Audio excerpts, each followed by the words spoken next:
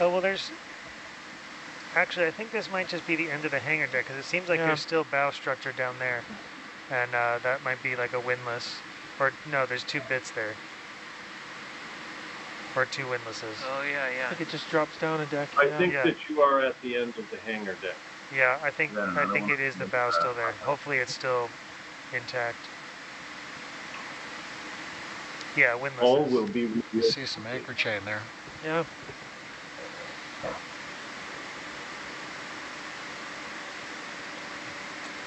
Oh yeah, leading off to the right. Yeah, there's anchor Yeah, chain. And up on I think it's down there. Yeah, two of them.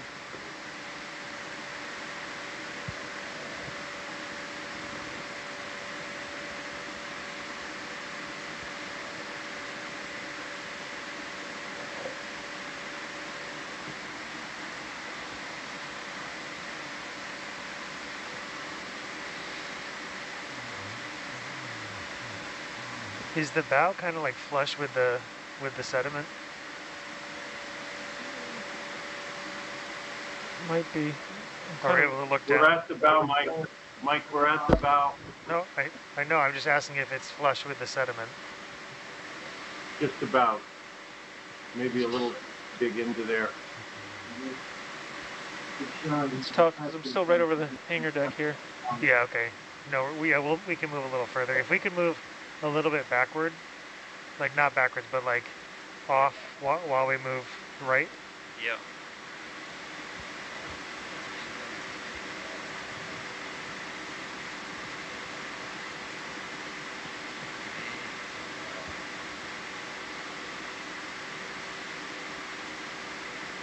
We think do 10 meters at 320.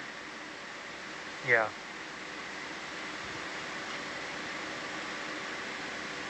Sounds right. Sounds good.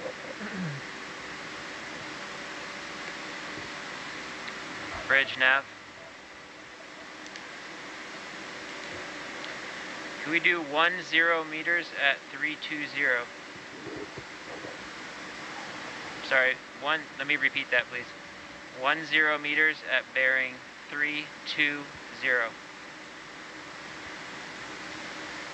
Correct, thank you.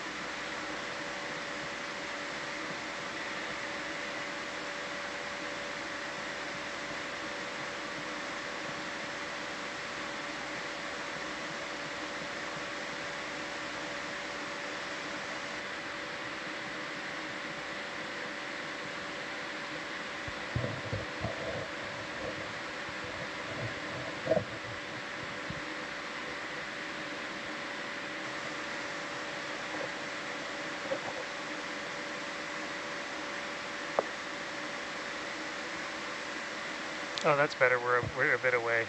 That's good.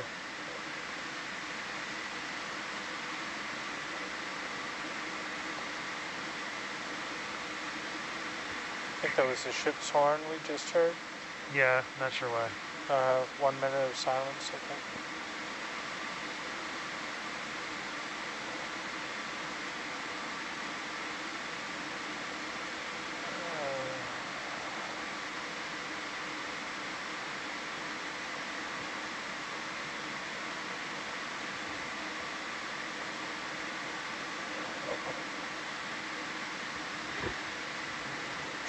Push here. If it's as frustrating as. Stop. Yep, never mind.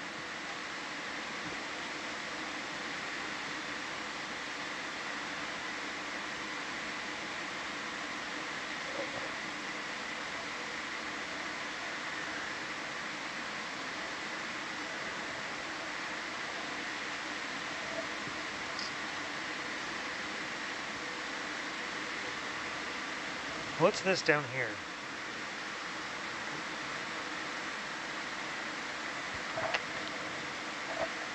May just be a coil of uh, line. Uh, yeah, that's yeah, that's just a a winch coil. for a crane or something, maybe? yeah, maybe. Oh, which is probably right here. Yeah.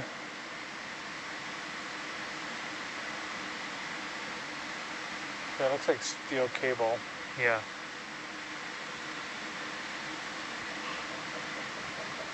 I'm gonna try and.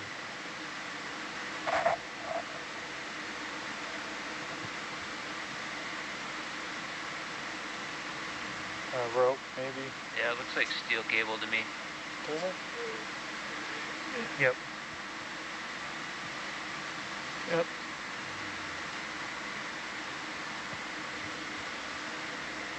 Coming out. All right. Trying to come out. There it goes.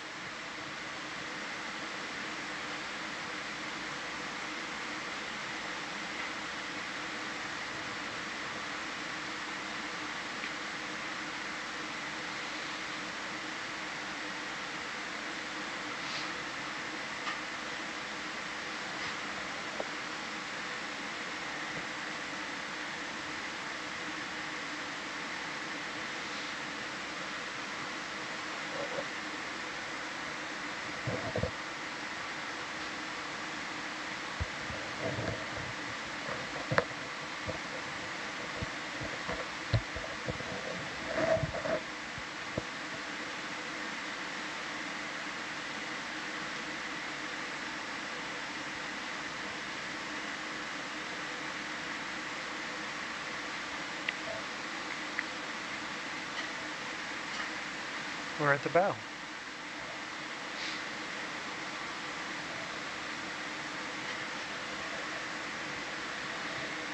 We should do another one of the same moves, 10 meters at Yeah. 320. Yep, that's good. Thank you.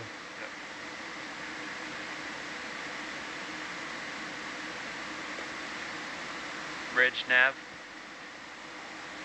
What? Yeah. Could we please do a ship move 10 meters, bearing 320? Thank you.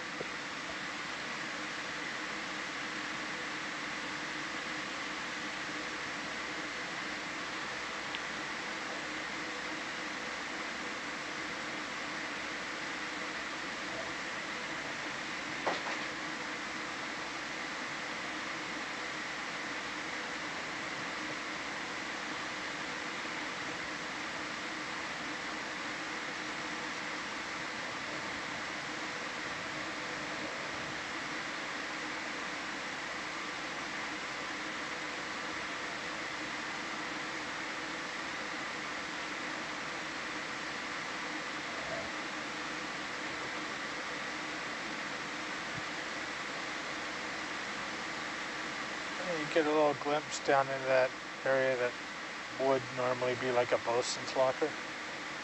Oh yeah, maybe.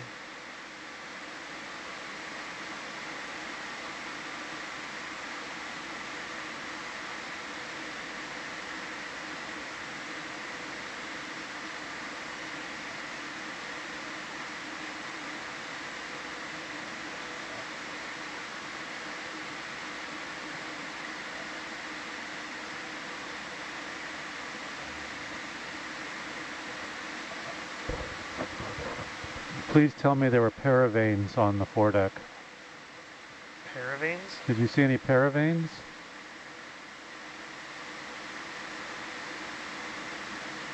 I was hoping to see them in the plans they're there, but they might not be. They look like kind of torpedoes with wings. I don't think so. Strapped down to the foredeck I somewhere. didn't see him. I didn't- see him.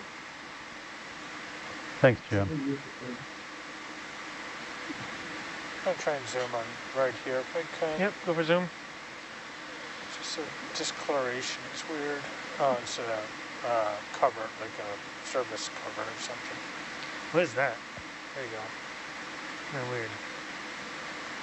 Uh, it looks like a cover and you would remove to access electronics or Looks something. plastic, which they didn't have. No, it looks like a water bottle from very wide, but that oval is a, um, an access panel.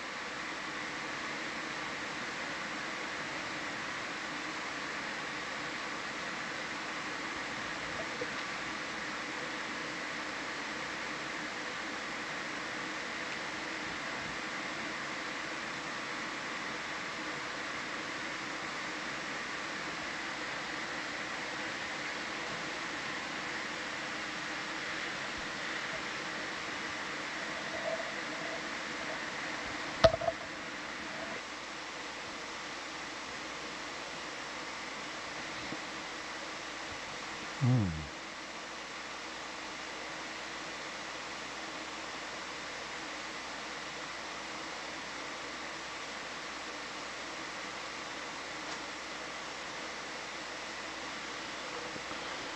Did you cross over this, or what, had we already Yeah. gone beyond that? Yeah, we went over that.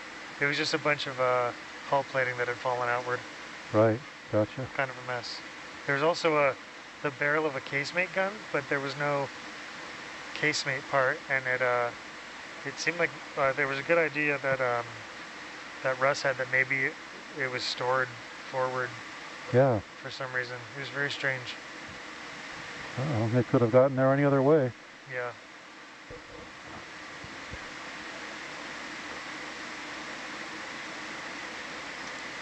There's that little light down into that bosun's locker again, or whatever that compartment would be called.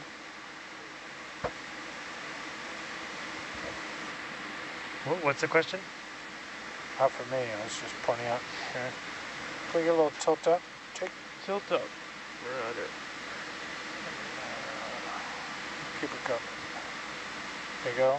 Trying to, uh, out of frame, there's a rectangle that uh, opens down into the next deck below this one, Yeah. right there. Mm-hmm.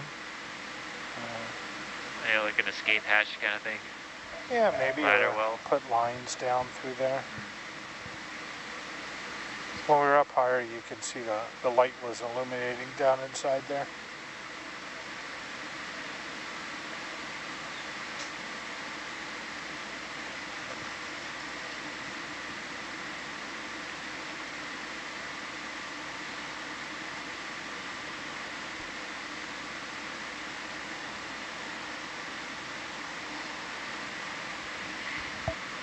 Currently, we're hovering over the bow and like looking down on top of it. Yeah. Yeah. Yep. Yeah, there was a moment where we weren't sure the bow was here because we saw it kind of break off, but that was where the hangar deck ended and was kind of broken, and that's where that uh, sh- the hull plating had fallen out from. Oh. And Oh, then this was It's- this was lower. This section right ahead looks almost covered in sediment. Yeah, I think um, much of the wreck is because it kicked up so much when it landed. How far down would the anchor be? Oh, Um, is no. that it? Right, It could we could see it. It, it would just Is be right there? Sorry. yeah, that could be it. All right. Looks like it may have hit bow first because it's plowed into the mud there. Yeah. May not be much chance of seeing that uh, crest then.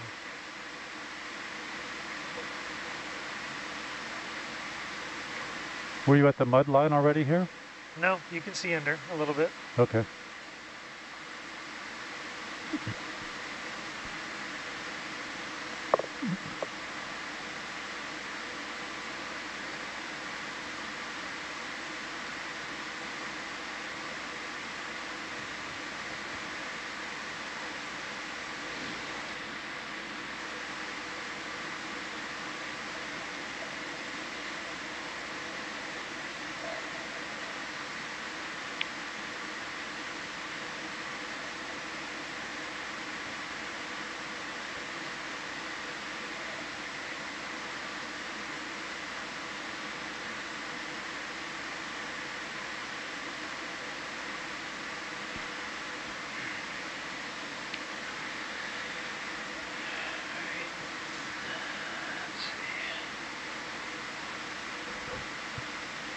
Alright, ready for the next move here?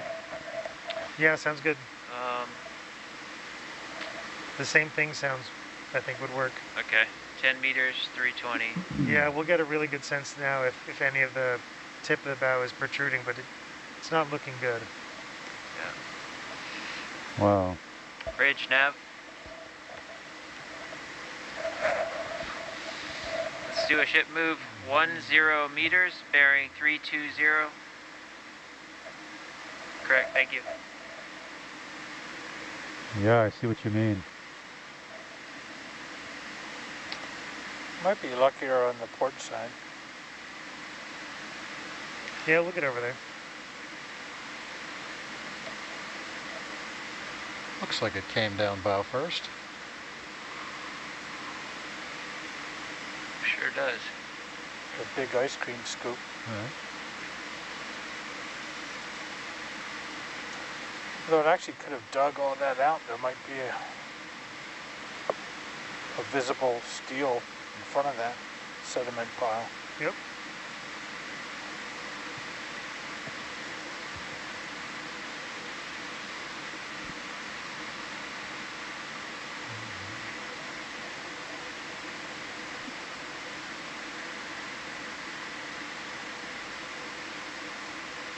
I've got to say, we just witnessed one of the most beautiful hulas I've ever seen, and I've I've seen some hula, Well, that's good. so very moving.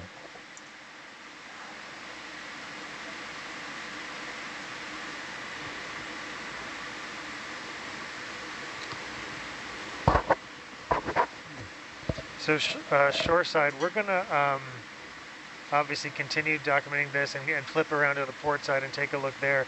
Um, my thought after that was to continue up the uh, Maybe sticking out the, right the port side um, to about a midships where we initially came down because that's the one quarter of the wreck we have yet to look at. Um, what are your thoughts? Is there anything else before we start that that you want to see in the next two to two and a half hours?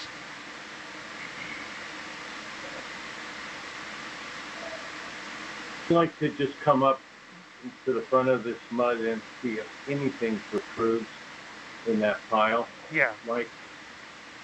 And then, then I think we, everybody agree with the center line? okay, sounds good.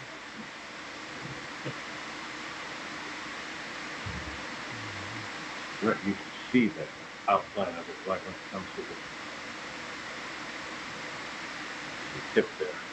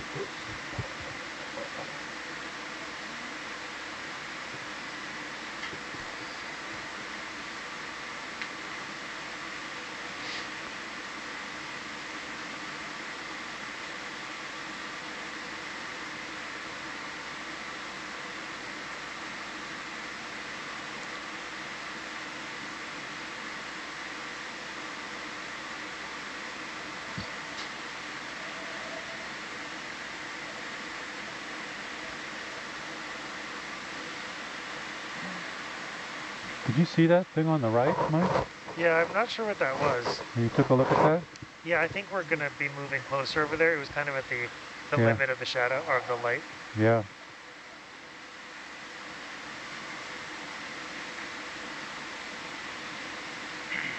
Particularly interested in what is sticking up out there. Just Oh, yeah, in off front to of the that right. mound. Yeah, do you guys see it here? There's a, something yeah. sticking out. Yeah. Yeah. Okay. Is it possibly the bow sticking out the other end? That's what we were thinking. If it, Maybe. Eventually, Yeah. if it went in stern high, bow first, and then the stern came down, it could have lifted all this sediment up and exposed the very forward end.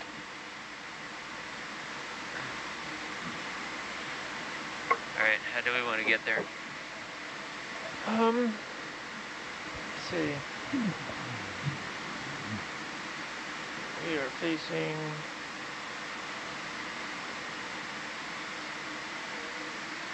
One seven zero or one nine one nine zero. Um,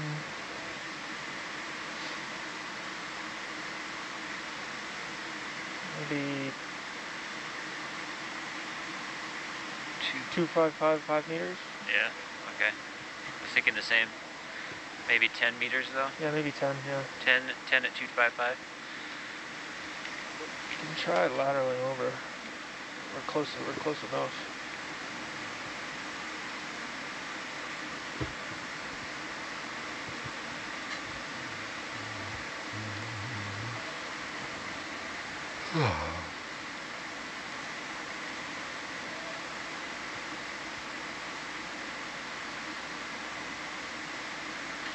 Bridge nav. We do a move one zero meters bearing two five five. Thank you.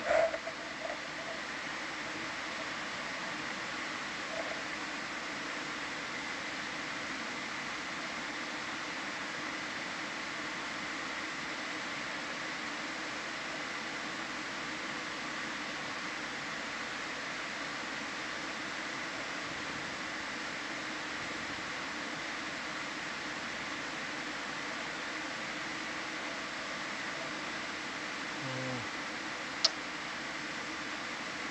Maybe not.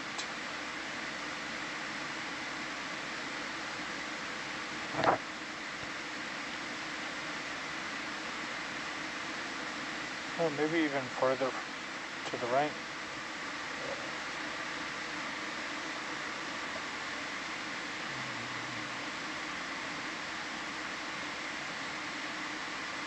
Hmm.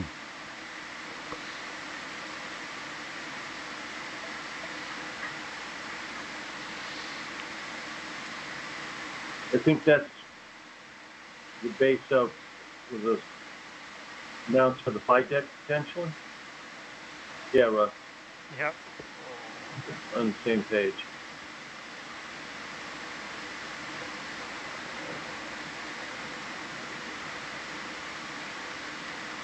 I'm still having trouble with scale figuring out like if something's the size of a tin can or it's the size of a pillar? car. Uh, flight deck support. I'm only five meters off the bottom, so if that helps with your scale. Eh, not really. Thank you though. I appreciate it. Could you uh, spin to the right? Uh, There was something in this sediment out there that I think we might be closer to looking at now.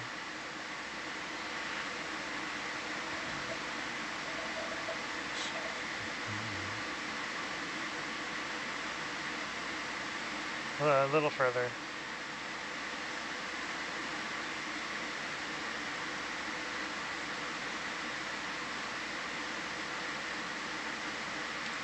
Hmm. Not sure what it is. Where it is.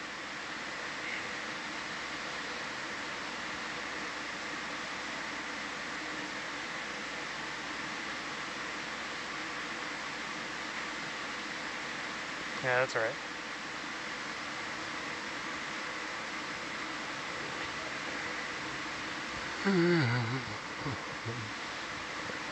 Those were really far forward, weren't they?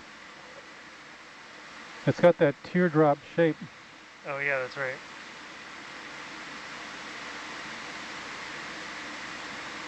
It looks like it's outside of that, if you were to continue that line of the rail. It looks like it's outboard of Yeah, it probably broke off.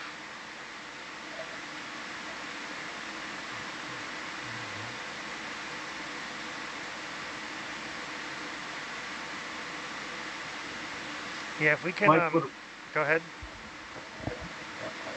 There is something more just off to the right Yeah. in the segment. Yeah, I, was just gonna say if we can. Okay, go ahead. Keep going. I was just gonna say if you know once we finish this move, we'll be able to swing around it and look at this this sediment head on, and then continue to the to the other side of the bow. You see that dark coming out of the is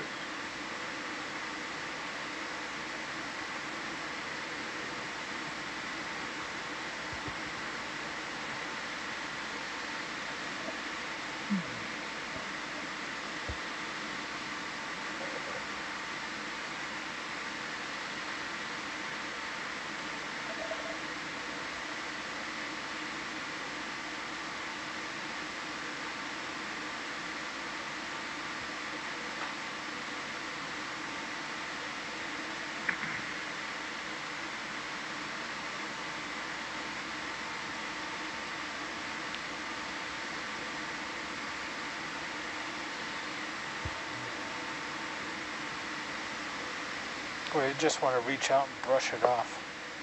right. Just take a leaf blower to it.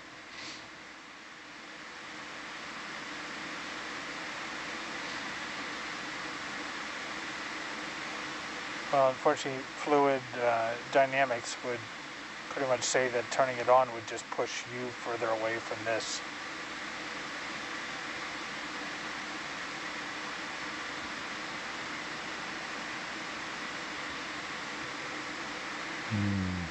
So it doesn't look like we're going to be able to visualize the front, huh? No, it doesn't look like it. It would be nice to turn and square up and get a look back. Yeah, we still should do that. Maybe come so that the porch is behind that bar and we can get a see what sort of view of the bow we can get.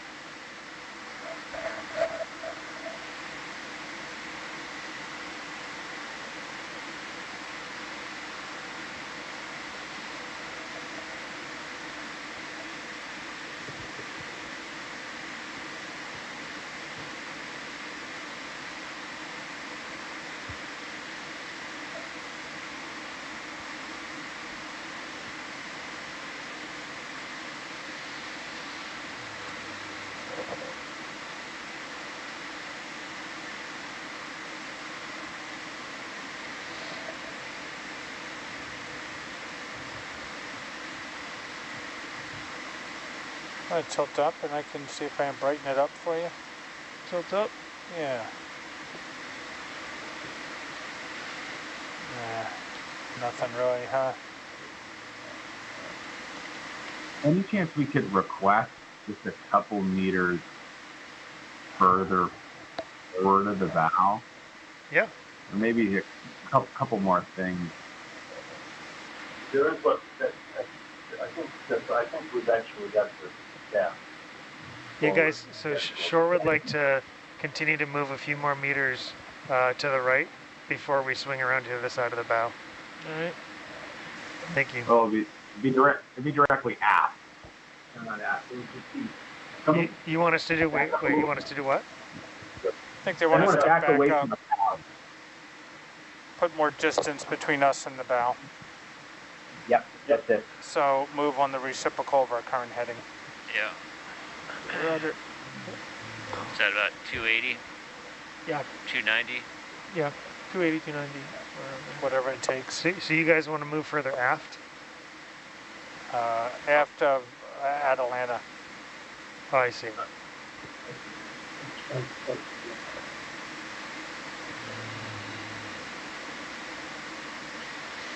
Uh, five meters? 10? Let's start with five.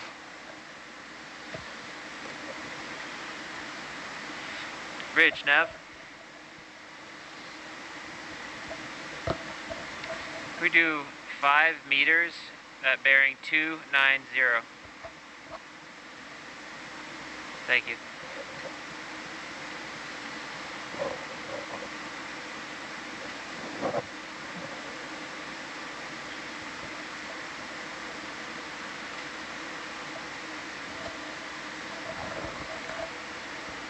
Well, if that emblem is exposed wood, it might be preserved.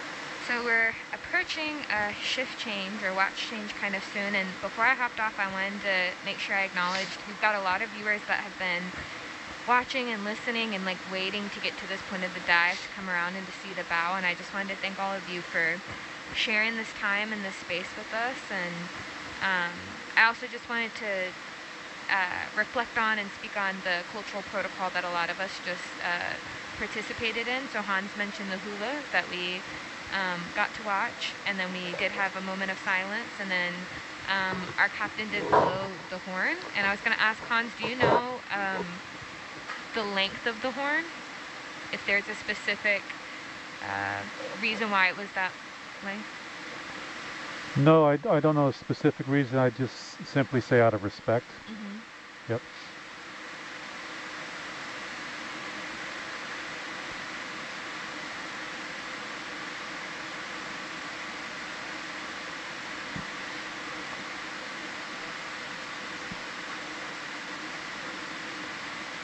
It was quite nice. I think Malia Evans choreographed that dance Yeah. especially to the Okinawan folk song hmm that was uh, popular in Japan and has been for quite a while. Pardon me. And I think the um, the title was was Voices of the Sea. Mm. Yeah, it was beautiful, and um, this was right at sunset, um, so that's why we decided to have it now instead of towards the end of uh, the dive when Atalantas are covered. Um, but yeah, it was beautiful and very special. as well as the kava ceremony as an offering. hmm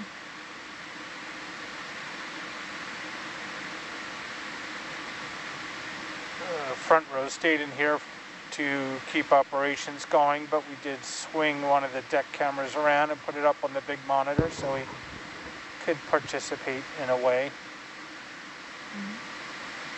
Oh, good.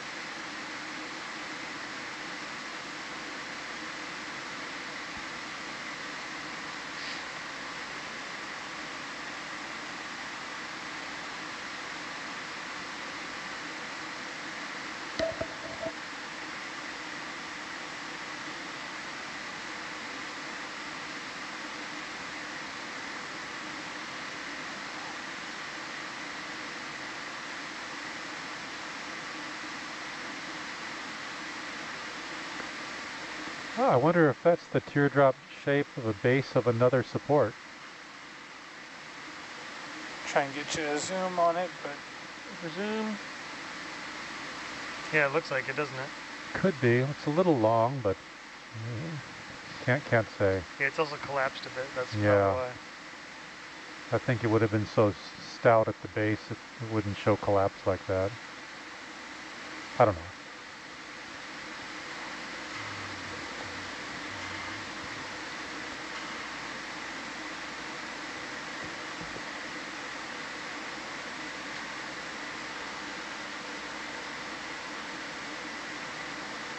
Lying there in the sediment too, that, that pole, definitely, I I think it's right under us. Yeah, right under us. I think it could be the jack staff.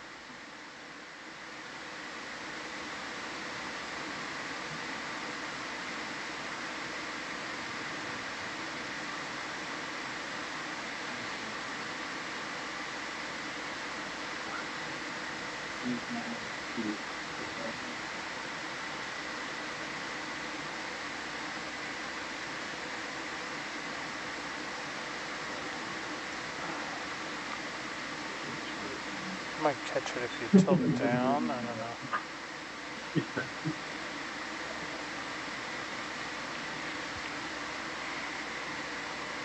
That if they continue moving the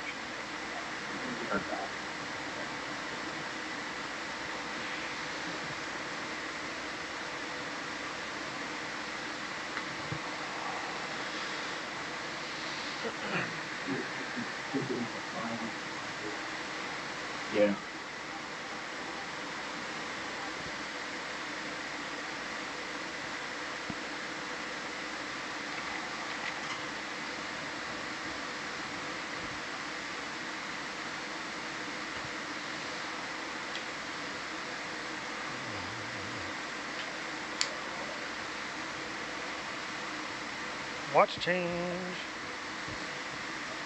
Yep. Coming up on watch change. Watch change of Hello. video. Hello, watch.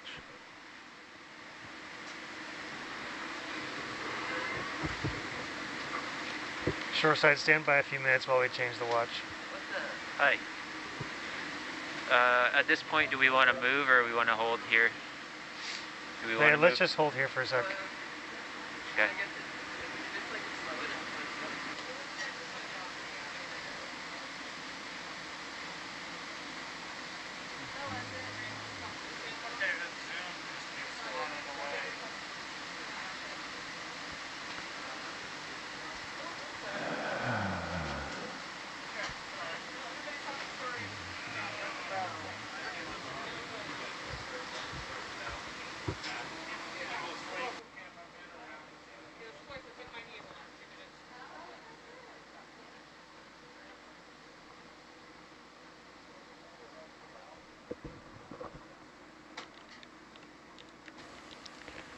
While we're while we're waiting for this watch change, uh, just wanted to provide a little bit of an update.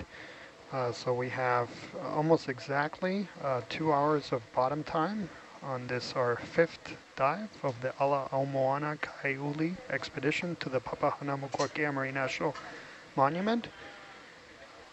Uh, we'll be uh, pulling the vehicle off the seafloor at 10 o'clock local times in two hours, and it'll be about a three and a half hour um, ascent to the surface. Um, after that, uh, we'll have a 14-hour transit tomorrow morning uh, before deploying the vehicles around 4 p.m. Uh, for a dive focused on the geology and biology of a unmapped seamount that we'll map tomorrow morning uh, and then get to dive on for the very first time. And that's in the northwestern end of the Papahanaumokuakea Marine National Monument. Uh, and that will kind of mark the half point of this uh, very successful expedition already. Uh, we'll have uh, 14 days more of exploration. Uh, we'll conduct almost daily ROV dives focused on seamounts throughout this area, slowly moving back from the northwestern end uh, back en route to Honolulu. So we should have daily dives through about uh, September 25th, and then we'll conduct our final transit back to Honolulu. We'll pull into port on September 28th, uh, and that will mark uh, the end of, uh, of this expedition. Uh, there'll be uh, still a lot more exploring to come in this 2023 um, season. After that, we'll have an expedition focused on uh, demonstrating multi-vehicle exploration, an expedition uh, conducted with many of our partners from the Ocean Exploration Cooperative Institute that will uh, deploy three different vehicles, three different technologies at the same time to explore some area around the geologist seamounts. Uh, after that, we'll have uh, an ONR, uh, Office of Naval Research, funded expedition throughout the main Hawaiian Islands. Uh, after that, we'll have a mapping cruise uh, south of Hawaii, and then ending the expedition season in November through December, we'll have a 30-day expedition to map areas around a Jarvis Atoll, and that will culminate the 2023 uh, field season. But that's um, uh, also stay tuned. Uh, we are in planning stages for the 2024 uh, field season that will kick off around May 2024 with the ship going through some very exciting places around the central and western Pacific. A call for science input will be circulated early in October. Uh, that will provide the exact details of the operating areas where we'll, uh, EV Nautilus will be operating in 2024. And as every season, uh, we do our planning uh, in collaboration with the science and ocean exploration community. So we have the, the, the rough operating areas for our expeditions and then we uh, look through the science, uh, resource management, and exploration community to help us refine our exploration targets. There will be a form circulated where anyone can provide input, identify areas that they want to see more mapping in, see more ROV exploration, specific physical samples that should be collected, specific partners that should be involved. And that's the first step. Then we'll hold a, a series of webinars where we'll help refine those plans. Uh, so stay tuned uh, for that. That should be released in early October. And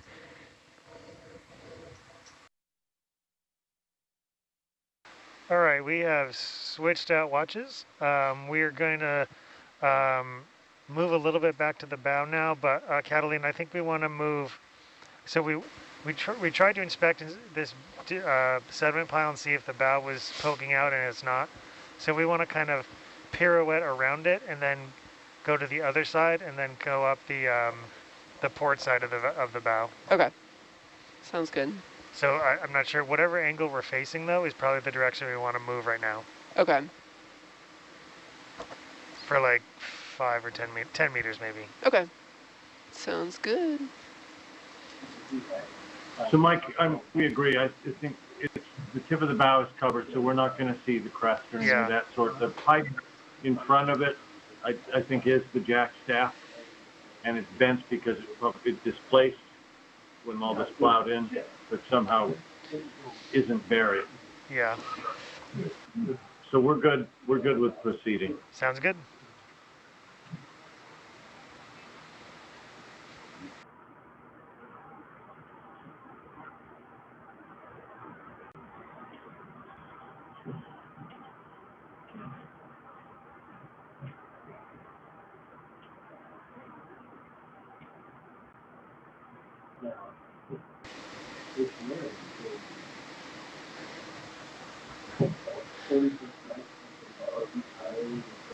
Wouldn't it be funny? All right, the move has been called. Awesome, thank you. Yep. On another feature or on the other side. Yeah. Like a fan. Yeah. Look at that.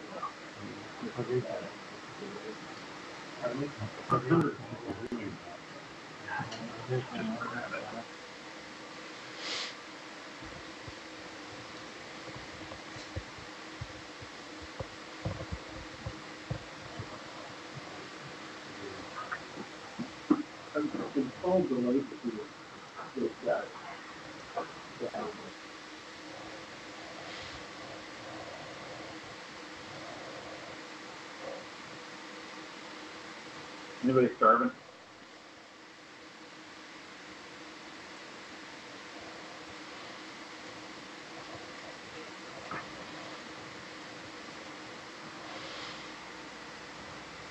Yeah, Mike, as we bob up and down here, I, we can actually see that, I think it's part of that bar jack stay just over on the right-hand lower corner. We don't really need to zoom in or zero in on that. We got a good look on it on, at it, on the way in, but Thank you, Phil. Thank you, Silver Spring. Mike just stepped away for just a minute, but uh, we copy that.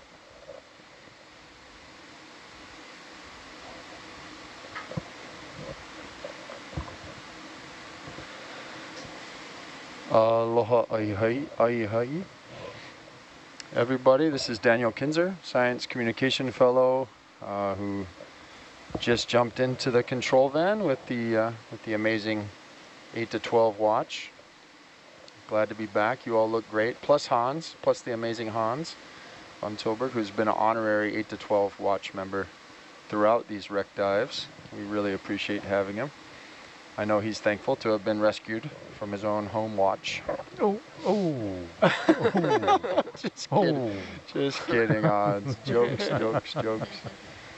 Oh, but uh, yeah, thankful, thankful to be back to spend these um, next couple hours, our final hours as an expedition and as a watch team on board uh, any of any of the wrecks associated with the Battle of Midway, and uh, we'll be moving on to um, to explore the sacred waters of Papahanaumokuakea and from more of a geological and biological perspective, but uh, we just want to continue to pay our respects and uh, learn what we can from the amazing sacrifice, um, the amazing bravery shown and um, laying at rest here on the seafloor, 5,400 meters below the surface, well over three miles, three miles down. So Daniel Kinzer, 8 to 12 watch, and uh, when when anyone else on watch feels like uh, introducing themselves, I'm sure the internet and those ashore and everyone else would be excited to hear your voices again and have me be quiet.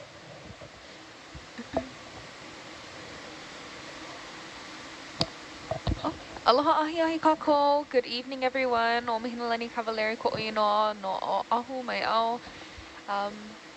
My name is Mahinalani Cavalieri. I'm from the island of Oahu, and I'm so privileged to be here with you all. As Dan had mentioned, um, this will be one of our last archaeological dives, and then moving forward, we're going to focus on um, our geology and biology, and we have a lot of great scientists on board who will assist and lead uh, that portion of the Huaka'i. Um, as you may already know, we are in Papahanaumokuakea Marine National Monument, the sacred realm of Po, uh, the sacred depths of Kanaloa, and over the past few days of diving on different um, wreck sites, it has conjured up a lot of different emotions that have stirred up for many of us, and we're all processing it, digesting it, coping with it in various ways.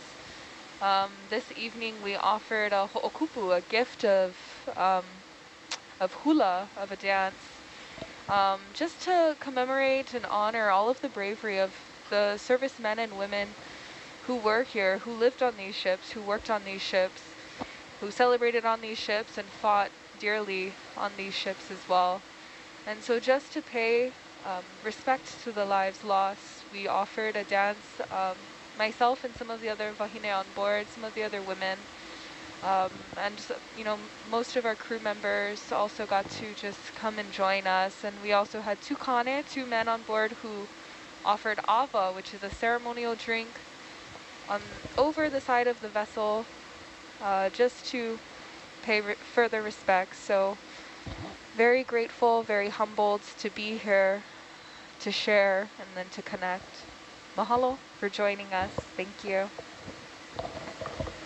Mahalo Mahina was an honor, a profound uh, privilege to get to participate and to get to watch all of you Wahine look, uh, just offer that beautiful, beautiful hula uh, for this place um, for those who fought so hard here and to all of the ancestors as well as Kanaloa himself. So it was that was uh, thank you so much again for doing that. One of our other amazing hula dancers down the end of the line, the one and only Light. Oh, mahalo nui dan. uh, aloha anoi ke aloha kako o kukui no Mauiau. Um, aloha guys, my name is Kukui. I come from the island of Maui and I'm so blessed and privileged to be here with all of you folks today on board and on shore. And um, I was also so um, honored to be able to witness uh, the beautiful offering that happened today and to be in everybody's presence and to be able to offer that, the presence and the hula and the ava to um, the people who sacrificed everything for their countries. So mahalo guys.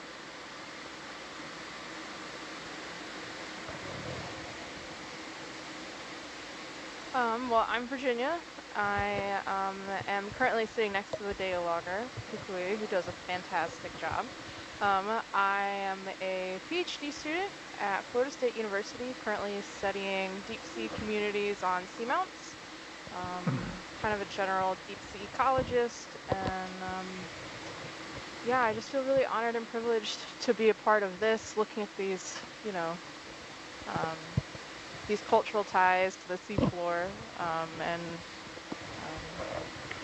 yeah, really honored to be a part of uh, these cultural ties that, you know, tie us all together too. So, yeah. Mahalo, Virginia. It's a, it's a blessing to be learning from you and with you. Thank you for being here.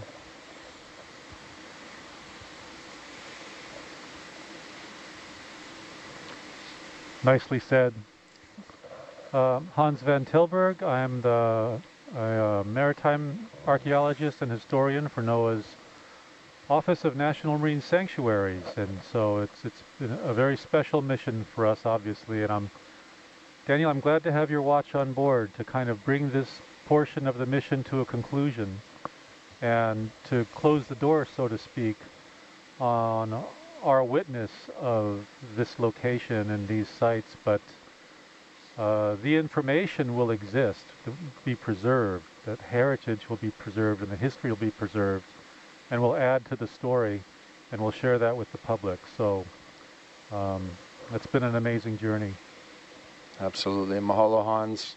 Such a joy to, uh, all jokes aside, all of our watches are just remarkable, and, and this watch um, uh, is just so near and dear to my heart, getting to experience this with all of you, um, this life-changing exploration and expedition. And um, yeah, Hans has said so well.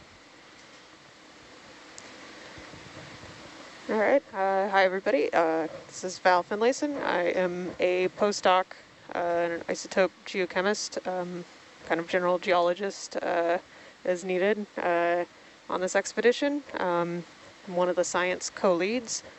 Uh, see. Uh, yeah, I'm a postdoc from uh, University of Maryland. Um, I'm I'm super thrilled to be out here and absolutely humbled and honored by the last few dives that we've uh, we've been able to uh, uh, do on these wrecks. And I sincerely hope that uh, we we can help bring some closure to families that have been affected by by this battle. Val, it's so easy to to uh, to be so fully impressed by your depth of knowledge, your abilities as a scientist, your your curiosity and your passion, um, and yet that's that's not even the best thing that you bring. It's amazing your leadership, just your outstanding uh, character. You're just carrying our 8 to 12 watch, leading us um, through these very challenging missions, and uh, doing it with grace and ease and and great friendship. And we we really appreciate that. I know I can speak for everybody. We really appreciate Thank you. that. I don't Mike. even know how to reply to that. we'll pass it over to the man who needs no introduction. He's been with you for three days straight. Three days straight and counting. Do you remember who you are, Mike? Do you need any help Who? introducing you? I think that's What? questionable at this point. um, Mike Brennan, maritime archaeologist from Search Inc. I'm the co-lead uh, co-lead scientist for this uh, expedition. Um, yeah, just we're very.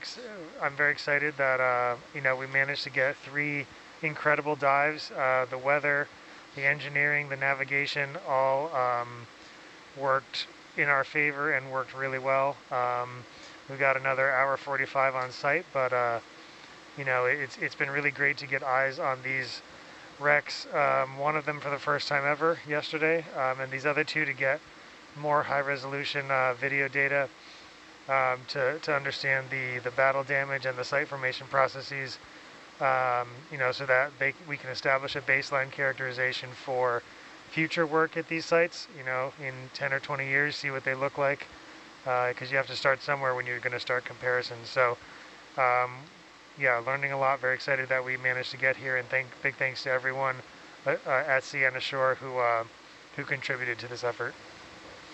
Absolutely, a, a incredible team effort. It's a kako thing, Lau Lima. Um, many hands required, and uh, just like Val, incredible to have Mike on board, who, along with, of course, also with Hans, um, but really uh, as, as the science leads, taking on a lot of responsibility and, and delivering on the mission objectives. And of course, it takes the gifts from Kanaloa, incredible uh, luck as well. We have to have uh, great weather. A lot of things have to work in our favor, but along with our expedition leads and our crew, um, just uh, it's an honor to, to watch what great leadership looks like. So yeah, just an awesome back row all around. Yeah, world class, 8 to 12 back row, can't be beat. Thanks, Daniel. yeah. 8 to 12 plus Mike and Hans. Plus Mike. And you guys are honorary. You're honorary now. We've, we've adopted you. Hanai. Sounds good. Is that like probation? Yeah, you, you passed your probation period on. You're, you're all the way in. Um, but you know, the back row really uh, wouldn't be anything without the front row. They, uh, they're the ones delivering this incredible view of uh, these wrecks, taking us into the depths of the ocean and uh, doing it, making it look so easy with their professionalism, their skill, um, and also just adding tremendous uh, character, great stories, a wealth of experience um, to ocean exploration, different perspectives. Front row, when you guys have time, uh, we'd love to we'd love to uh, reintroduce you to the internet and all of our viewers at home online. Yeah, I can um, I can start. I will start quickly with an operational note. So that jump that we made has really not translated into anything. It actually looks like we've gotten a little further. and I made okay. another, so I called another 10 meter jump. Um, we'll see. We yeah, may... I think I think we're back to the spot where we met you uh, your last watch, which was trying to change directions on you. yeah. I think like actually, we, yeah. I think you came on it when we yeah. got to the stern, and you came on when we got to yeah. the bow. Yeah, I was about to say there's something with this watch. Yeah. Yeah. So, so. Um, understood, and we'll we'll do our best. Thank you. Okay. Um, but yeah, my name is Catalina Rubiano. I'm a master's student at the University of South Florida, and yeah, I'm serving here as a navigator, trying to get us around, struggling. Not at all, Catalina. Handling all challenges with grace, and uh, we know you're we know you're fierce and want to just get out there and move move the ROV into place yourself, but uh, we're glad we're keeping everything safe and including you. Yeah, absolutely. The one and only. Robert? Yeah, I'm uh, Robert Waters. I'm sitting in the pilot seat. Uh, it's tremendous to be out here and see this. is probably the most historic dive sites we've been to in, the, in my time here anyway. Uh, hoping to come back, but I don't know if I can do it in 10 or 20 years, so I hope it's before that.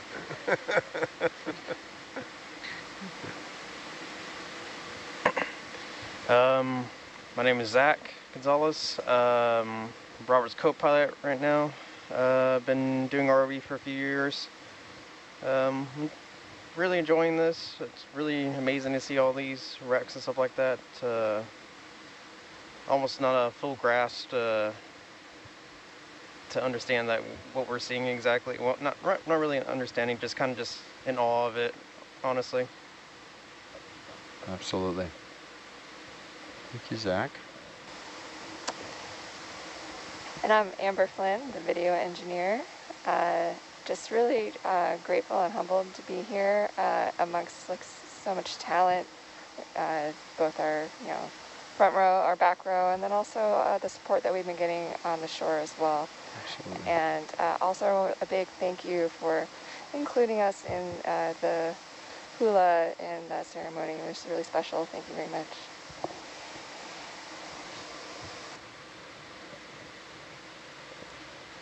All right, and uh, I'm sure they've had to introduce themselves many times. Um, uh, Jim is uh, maybe rivals Mike for who's uh, who's been awake the most uh, throughout these throughout these dives, but uh, and many on many of the team in Silver Spring. But Silver Spring, if you'd like, and whenever you'd like, we'd love to have you jump in and and share a little bit more about the amazing team that's gathered there in NOAA's Exploration Command Center.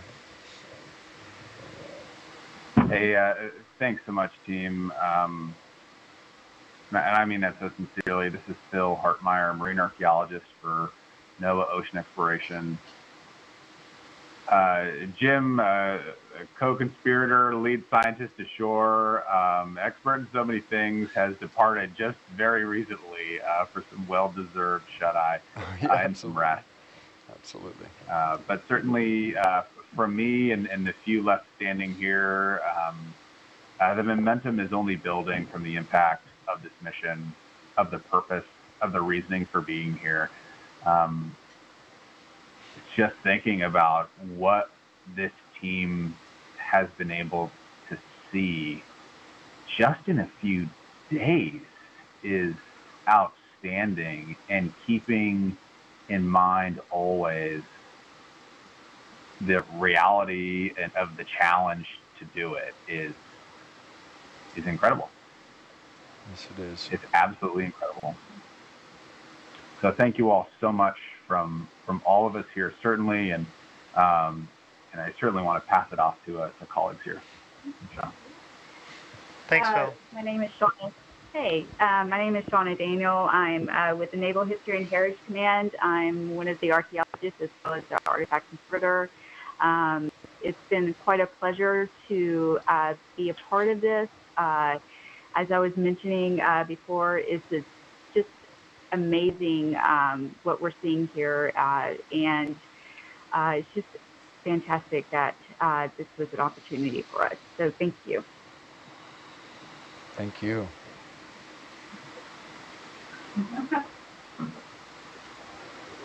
And the uh, the only last person standing here is me, Frank Cantelas. Um, I'm with NOAA's Office of Ocean Exploration Research, and uh, it's been a pretty amazing few days here watching this expedition explore the. Incredibly deep water, and to see uh, evidence of this, this historic battle. It's been a real pleasure, and uh, we appreciate your work out there. Thank you. Thanks so much, Frank. Yeah, thank you very much. It's it's uh, been so important um, to to watch this collaboration extend across so many time zones and uh, just the power of this our ability to communicate um, with you all, with our colleagues in Japan as well. Um, just uh, just added so much rich, richness, so many layers of, of knowledge and understanding that I know will continue to grow upon, but just laid an absolutely wonderful foundation um, with this exploration. And it is, uh, I think, uh, really blowing our hearts and minds that we, that we uh, at what we were able to witness in such a relatively short period of time. And, and um, just really want to thank the, the expedition team here on board um, for making this happen and, and making it uh, making it a rich learning experience uh, for all of us. So.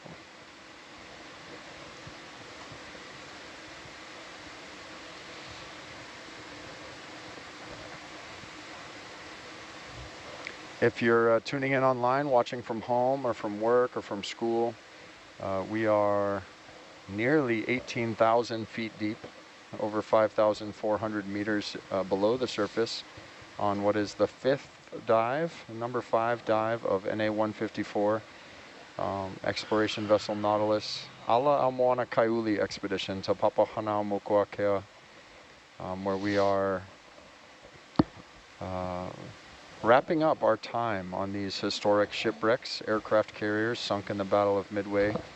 Uh, we've spent the last four or five days uh, moving uh, between these wrecks and, and diving ROV Atalanta on these wrecks um, to try to characterize them, um, get, get video and get cameras on them. Many of them for the first time, uh, or one of them for the first time, and all three of them um, this extensively for the first time. So uh, what a privilege uh, to bring them back to life, bring their stories back to life, uh, honor all of those associated. There are many people uh, many people still alive today uh, who are deeply connected to the events of the Battle of Midway, uh, who know it, and then of course all of us, especially those of us who call Hawaii home. This was uh, uh, really reshaped Hawaii entirely, um, and also the rest of the Pacific um, entirely. So had so many profound impacts and uh, we hope that this expedition shines a light on the legacy of that battle, which, uh, which in my mind at least, and I think many of our minds, is um, the peace that has ensued from mm -hmm. that point, the great friendship, the deep friendship and collaboration, uh, not only between the United States and Japan, but uh, between so many partners and collaborators, um, crossing institutions, crossing international borders, and um, just thankful to be a part of it. And uh, really glad that all of you are watching, uh, either on YouTube or on Nautilus Live. You can come come to Nautilus Live, ask your questions, um, post your comments, share your stories with us. Um, it's really touching to us to hear about the ways that this dive and this moment in history have impacted you.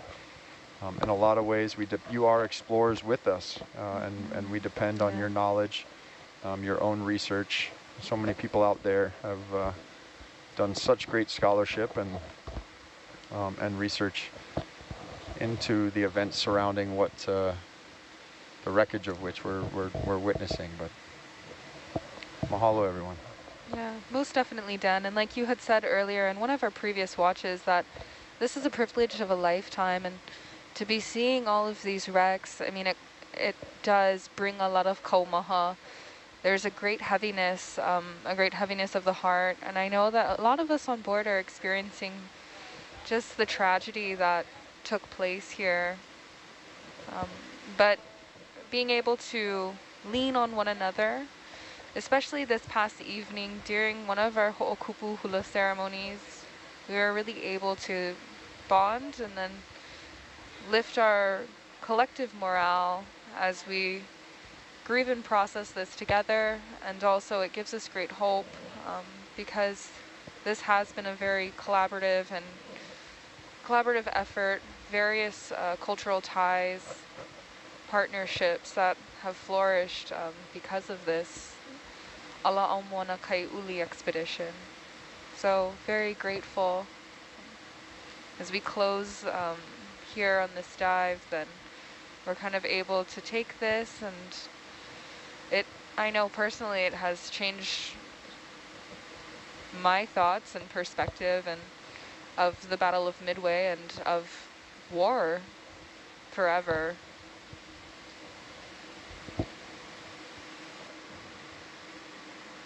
Mahalo, Mahina.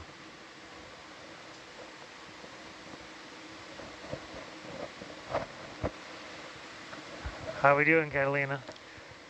So I put in uh, another 15 meter jump uh, facing Yep. towards the bow, and it looks like we're we're getting there. Yeah, we're, starting, to see we're some moving a little bit, yeah. Okay, sounds good.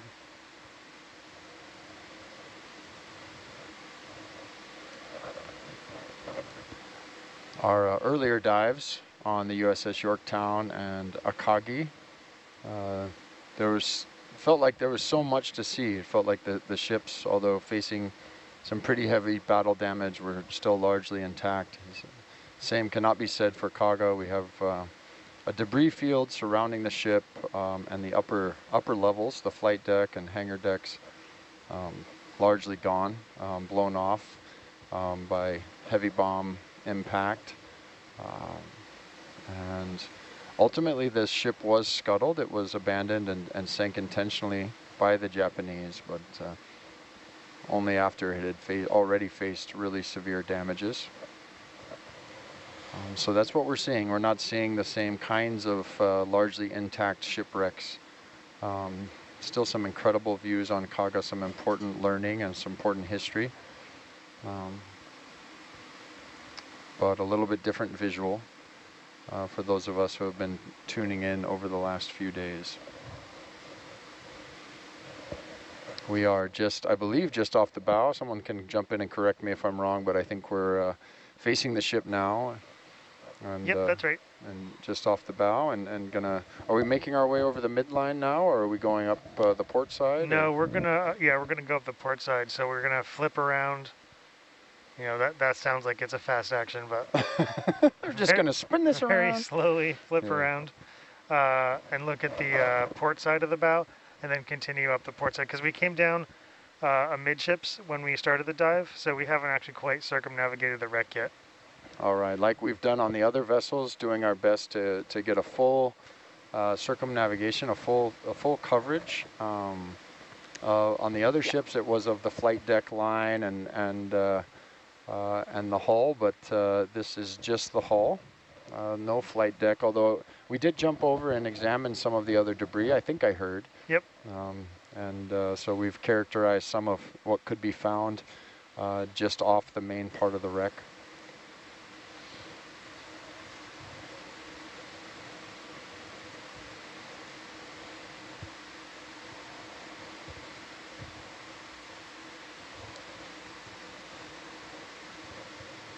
Some of what we've been exploring and talking about are, are some of the changes that were rapidly make, uh, being made to, to naval warfare and naval warfare technologies. Um, these uh, Japanese carriers were not or originally planned or designed as carriers. That was uh, they were modified um, after after completion or near completion to uh, to be able to uh, launch and receive aircraft um, as naval warfare moved to the skies um, during World War II. And so some of the uh, various technologies involved we've been looking at are representative of that sort of shift um, in, in warfare technology and warfare strategy and type. And the Battle of Midway was uh, sort of a major milestone in that transition. Um, from what I understand, I'm a fairly lousy student of history, to be honest, but uh, I've been trying my best to pay attention and take notes as some of the experts have been uh, sharing their stories and, and knowledge. And so thank you to them for being my teacher along this along this journey. You'll be tested on the same curve as, as everyone anyway, but uh, you got it exactly right, oh, Daniel. Excellent. So you're saying I passed. Okay. We'll C see. minus. Oh, I'll take them. We definitely have some straight A students uh, here in the back row, but we also have those, uh, many of us who, who may not have been uh, straight A students, maybe for whatever reason, school, academics weren't, uh, weren't always top priority or exactly our cup of tea. So it's awesome to see um, what genius looks like in all of its forms.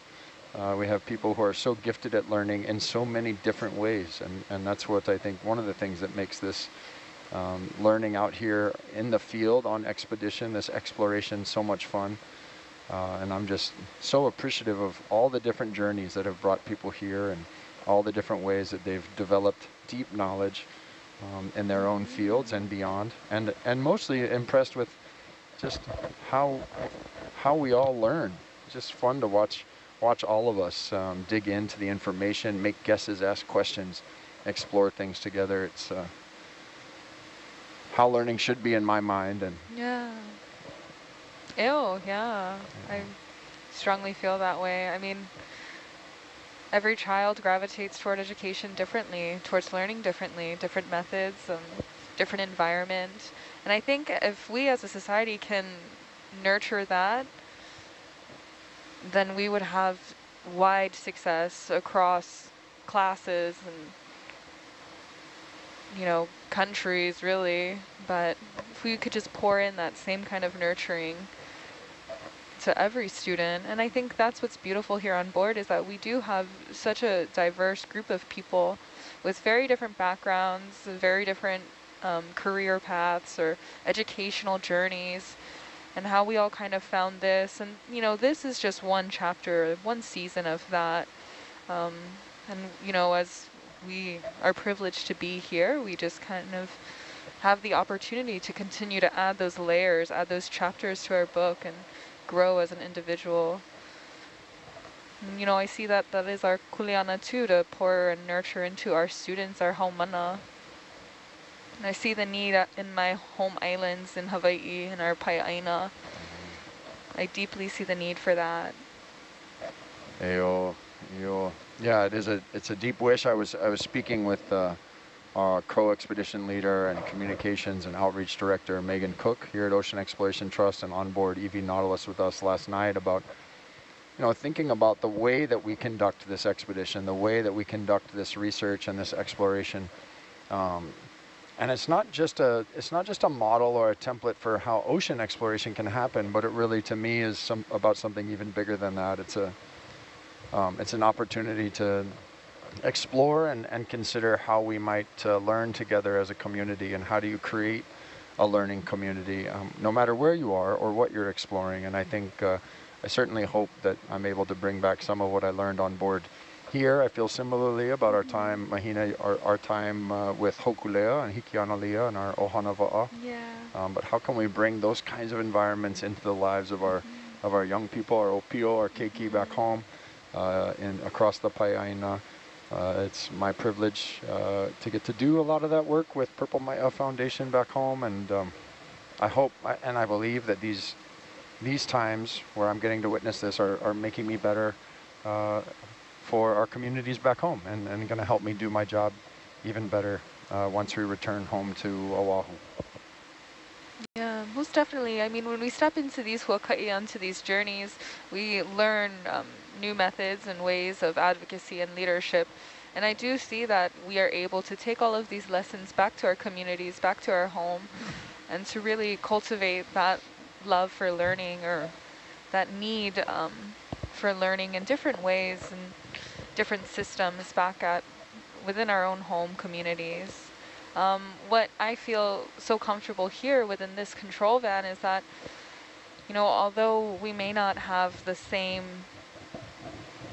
educational um, journey together and each of us are very different, we have cultivated a very safe space to learn and explore together, to ask questions here.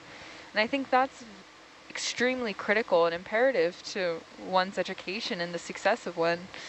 Um, the success of someone's educational journey is to be able to feel safe enough to explore, to feel safe enough to ask questions, to feel safe enough to have that curiosity, and to have teachers, have kumu, have adults, have alaka'i leaders who will facilitate um, that curiosity, creativity, and really create a safe environment for students, for Haumana to learn and to thrive. Oh, well said, Mahina. Mahalo. I love hearing, I don't know uh, if people want to think about this on a minute, uh, for a minute, but uh, I love hearing about uh, what sort of learning experiences people really cherish and remember. You know, who are some of the, the lessons that they've learned, place, you know, huaka'i they've been on, or you know, classroom projects that they've done, or I find most of the time it's something outside of school, but doesn't have to be, can be inside of school too, but uh, just the moment where that learning was really inspiring to you, you felt safe, you felt like you were learning in your community. You know, for me it would be um, obviously this experience, uh, um, but also our experience on Hokulea and Hikianalia, and I'm always curious to know um, what sort of learning experiences really inspire, um, inspire people and uh, kind of help them take that next step. So if, if anyone here, back row or front row, while we're looking down this beautiful view of the bow of Kaga, uh, wants to share that uh, and also understand if we need to move into some operational or archaeological talk too. Yeah, let me just really quick check in with Catalina on that.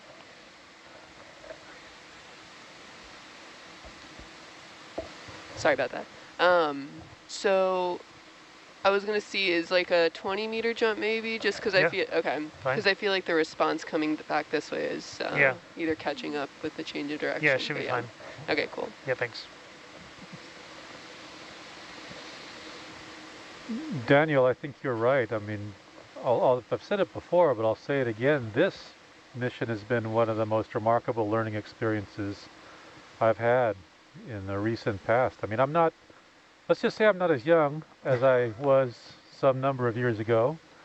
But, um, and I'll, I'll, frankly, I'll admit that, you know, I, I was uh, kindly invited to participate and, and saw that the archaeological portion of this mission was, you know, X amount long, this long, and I thought, well, what am I going to do for the rest of the time? you know, I mean, I'll just be on the ship, but, you know, I am, I am happy to get back to the seamounts and the geology yeah. of these, these undersea volcanoes and plumes because I'm still learning. Yeah. I'm and I'm and I'm happy to do it. And, yeah. and this is such a rich and collaborative atmosphere. And the amazing thing is, you know, it is being shared real time. I mean, lessons will come from this, and, and you'll take these back to the islands. We all will. But it's being shared now in the ship-to-shore communications that you guys have been doing It seems like 24/7. I mean, you, I see you get up at two in the morning to come into the studio down here to to meet the the time needs of of schools, you know, across the world. Are you kidding me? That's fantastic. And then then just this broadcast as well for the public. who might be, you know, listening just because they're, they're curious or, or maybe for fun, but then there's a lot of information. Absolutely. On the archaeological aspects, and then after this we'll continue with the biological dives and the geology, and those are all live. Yeah. And those are all filled with, you know, information from the deep ocean and some of the, I'd say some of the, the, real specialists doing the important work today looking at these things. Absolutely. And, and pushing our understanding forward. And it's happening here now, and it's accessible publicly and it's being broadcast into classrooms. So I, I don't know how much more amazing any kind Yeah. of platform, any kind of ship could do, frankly. It's pretty amazing. Sorry, I got on a No? kind of a No, it's kind great. of a soapbox Sorry now to on this really quick jump in, but I think this is the other of the mounts that we, the other one from here is in the sediment down there. Oh wow, yeah. So w- once we get over there, we can take another, a better look at that. Oh yeah. Because the other one was in the sediment pile just like kind of below us. So these are really far forward. Yeah. Yeah, well, you look at the diagram, they are really Yeah, far forward. Yeah. Oh yeah, yeah. There you Right go. at- So yeah, right at we the- have both of those. Right at the prow. And Mike, although we're, we're going to be moving up the starboard side, we're, we're sort of still on that sort of port corner of the bow now, or are we Uh, on the opposite. starboard side? oh, We're- we're on the We're going side. to the port side. Got it. Oh, got it. You said that these are mounts? Yeah, so th- uh, these were long, tall uh, pillars that the f- held up the flight deck. Uh, the flight deck extended from the hangar deck far out over the bridge. Um, so, uh, yeah, but th- that wasn't always the case. Kaga didn't, the flight deck didn't always go all the way to the bow. Right. It used to cut off at the hangar deck, but they extended it probably in 38, 1938. Thank you. Yeah, they're an upgrade. Yeah. Well, they probably needed a longer deck Oh yeah, they did. for did. bigger planes that could take off. Yeah, that's right. I think the history of the um, renovations and the reasonings and and then also, you know, um, the actual like end product, I think it's so interesting and so intertwined with history and, um, you know, whether that be just the, the vessel itself or um, trying to make speed or how aircraft has changed, it's really Yeah. kind of fascinating.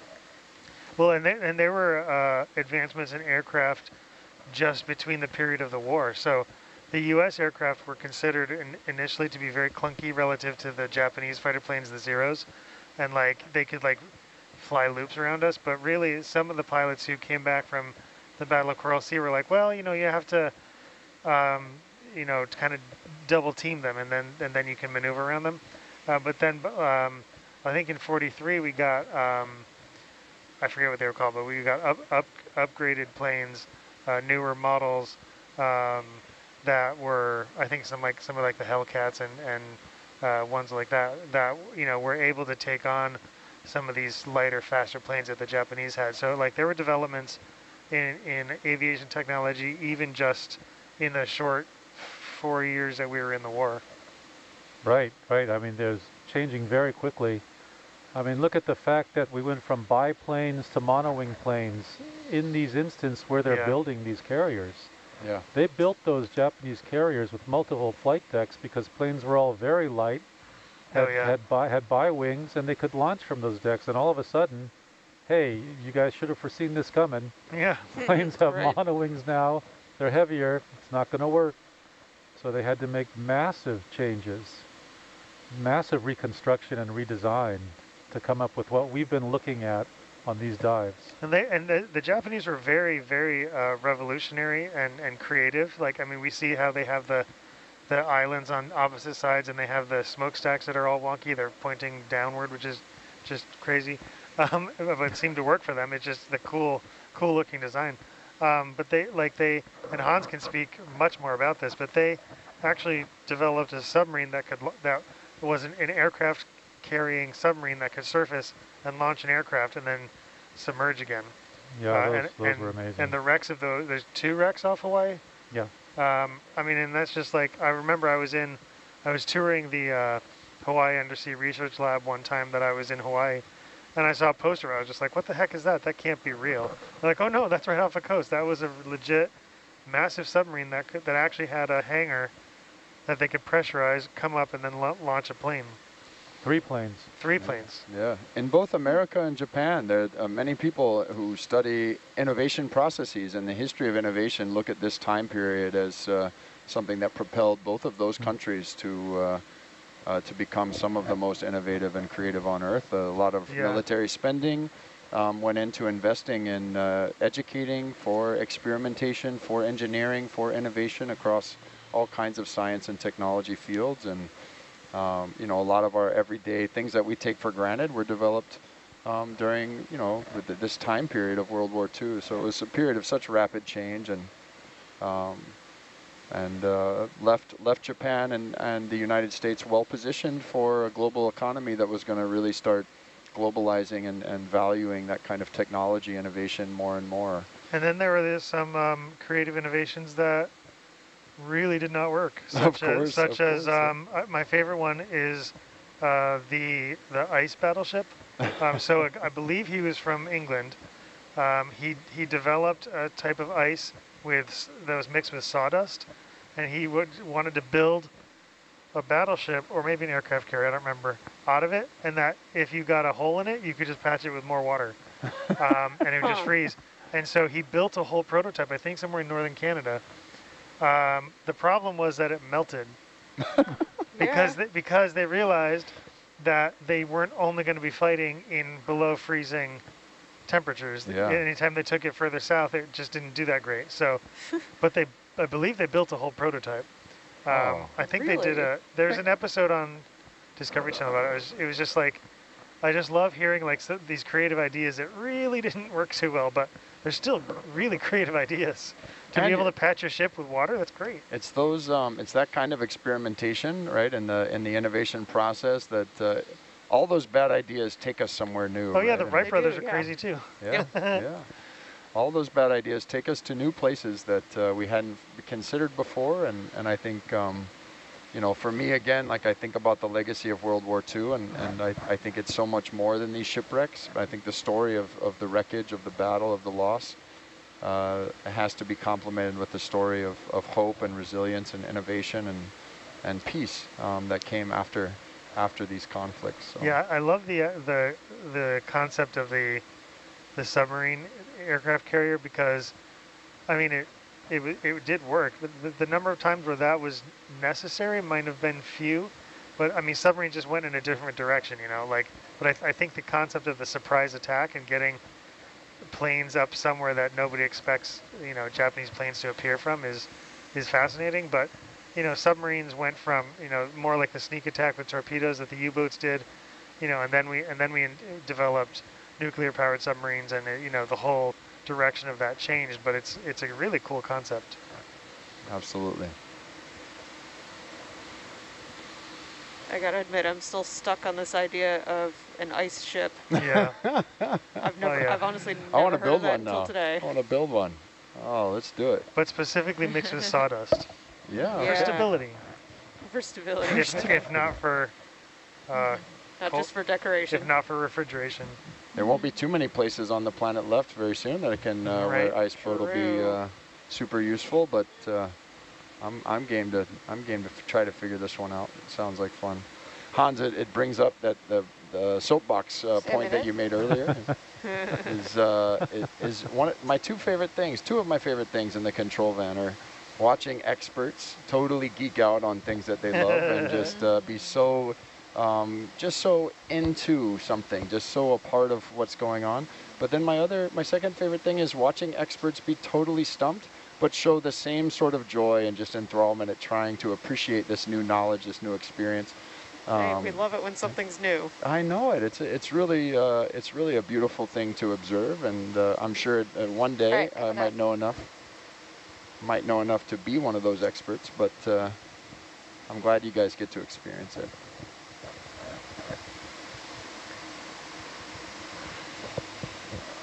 Who says you're not an expert in what you do? Yeah, yeah, I was thinking that. Oh boy. Oh boy. oh boy. Although I, but I don't care for the word, I don't know any experts who care for that word actually. Yeah, I think I think one of the things about being an expert is actually uh, being able to understand what the amount of that you don't know. Exactly. Absolutely. Yeah, Absolutely. too much pressure with that word. Yeah. Sometimes you come across things that uh, change your paradigms about a topic, and uh, that's usually one of the times where you feel like you know the least about something you've been studying for decades. Mhm. Just, just because it's so brand new, you just have to rethink the whole thing. We do need masters though sometimes, and uh, I'm glad that I'm glad to be uh, friends with a few. And it keeps me safe and keeps me learning, and uh, so I appreciate you all for your mastery. Won't call you experts or or master or sir or ma'am if you don't want me to, but uh, uh, but I will uh, definitely respect your knowledge and, and thank you for it. It's it's wonderful to watch. Mm-hmm. Is that another pylon support? Okay. You think, Mike? Well, the maybe the well, yeah, we're not at the corner of the forward hangar yet. I think. They got a hot tub on the bow too, though. I see it over there. Yeah, I was just looking at that. It's not really a hot tub. Oh, Just when we sorry. were calling it Sorry, uh, internet. 12 hours ago. Those are two individual hot tubs. Yeah. the, one at the, the one at the stern was shared. Now, now let's get back to the topic of capstan, not capstan. That was an interesting discussion. That looks like a capstan. It's, Yeah, it it's got the teeth, the cogs to catch the chain, Looks like it. and it goes. The chain goes around and right down to the chain locker. So it says capstan. Yeah, I, I think I think we sort of ended up landing kind of casually on the the one at the stern being a support for the the boat deck, but it's just such a weird shape. Like, why build it as a circle? Right. Just to trick us. Yeah. Well, in, a- in a couple of days, we will be restarting our uh, debate over whether it is a sea cucumber or a nudibranch. So Yes. yes. this is much in the same uh, realm as that. Well, I labeled that one the uh, the nudie beauty, and I labeled I labeled this one the hot tub. So uh, we can find them on we can find the we can find the reels. Just gotta look them up. Oh, I see. Oh my gosh, All right, so that could log there that. is the is where the hangar deck starts up again. Yeah. Oh yeah. And all the rusticles. I have to say, this would have been a really cool ship to see in person, like Mhm. like uh, when still afloat. Yeah. This is a Okay. dra- this is a dramatic area here. It's not intact, but it's No. it, it speaks to the event.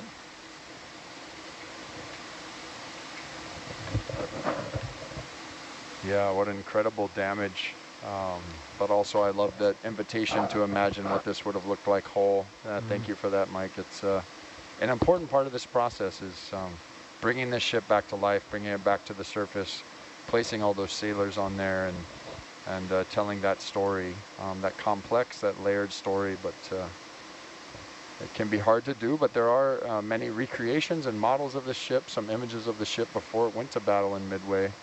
Uh, for those of you watching at home, uh, we've been learning a lot. I've been learning a lot from people who have obviously spent a lot of time researching and, and have deep uh, care and admiration for this vessel and such a creative design as Mike was describing and Hans. So uh, encourage people to do their own own little bit of an investigation into uh, what Kaga looked like and, and uh, sailed like um, back when it was on the surface over 80 years ago. Uh, so Nav, it seems like we're gonna need to come a little bit further uh, to the side of the ship. Yeah. Figure, figured you already figured that out. I can't hear you. Okay, good. She got it. Yeah, I was actually right in the middle of calling that up to the bridge, so Oh, we're on we're on it.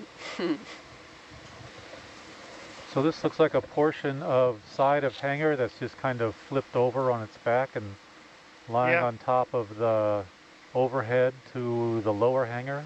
Yeah, I mean, if this was, um, if it did come in bow first, as it looks, this, you know, this could have been flip, uh, flipped backwards by the movement of water past the, Yeah. past the bow. Yeah.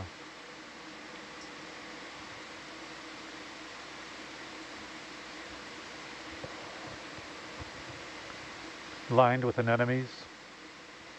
Hmm. Anemone. I wonder who came up with that word.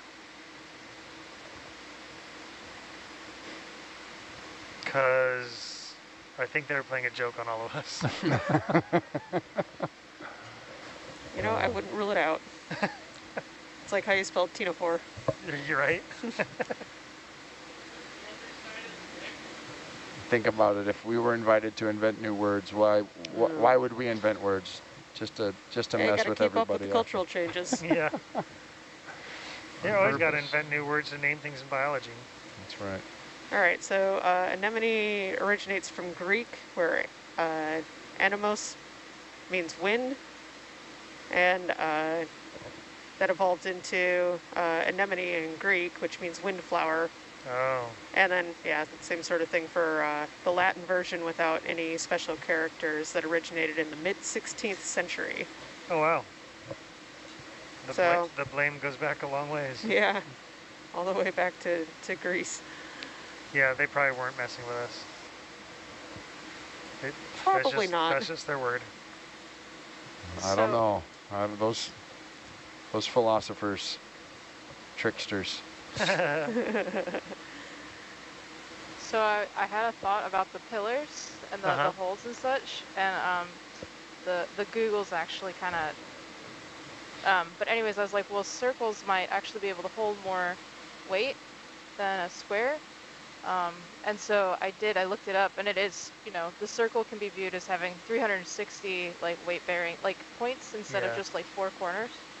Um, and so it's potentially a stronger shape, and therefore you might be able to get away with less like weight and less for your surface area, column yeah. versus a square. Yeah, and they were trying to make it um, uh, lightweight because it was so tall.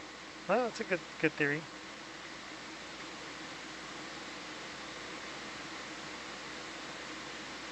It's out there. What is that?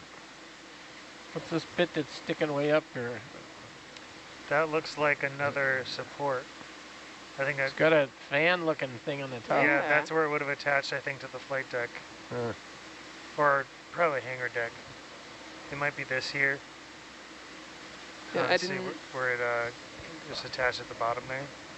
Yeah, I think I'll have to. I'll get it. high. I'll get him to pull us out a little bit further because I think I to think we navigate just around have, that. this looks like it's by itself though. Yeah. Like maybe once we clear this, we can, we'll need to be, come back in anyway. So do you want to? But do you want to go on the outside of? it? Is that what you're saying? Yeah, I'm gonna go on the outside of it, but Yeah, I I don't don't, really know know if we want to pull further away because, Okay. you know, I mean, you're also lateraling still, so we may Yeah. get pulled in a little. Yeah, I don't really know what that is. I mean, that looks kind of ventilation duct-like, but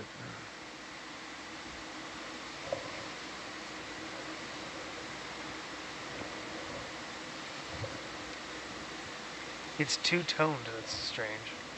We have our friend and fellow explorer Shore just bringing the nudibranch and uh, sea cucumber debate back to life, uh, who uh, thinks that it's most likely an undescribed species. The nudibranch that we saw, that beautiful purple one that so many people told me was a sea cucumber, but I so bravely stood my ground. Oh. The lengths I have to go to around here. I do enjoy your sea log entries, though. what is that thing? I don't know, the hot tub kind of got me oh, over the hot tub. Well, when I labeled this most recent one, it was labeled, what is this thing? I saw Yeah. that. Yeah, well, it's you, you can go to great lengths because you're six foot eight.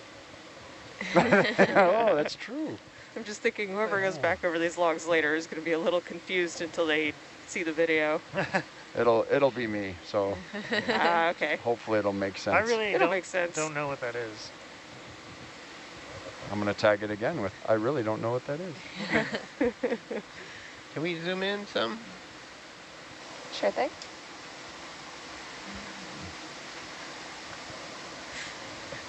Wow. That's a pretty nice piece of bronze or whatever it is for a Yeah. pillar support. Right? Well, those look like bearings there, though. They right? do. It's a gear. Yeah, like some kind of gear. I, I was gonna say there's a, there was a gun mount on the back, but it this is like on the like sticking overboard. Maybe it's bent overboard. Maybe. Wow. Fascinating.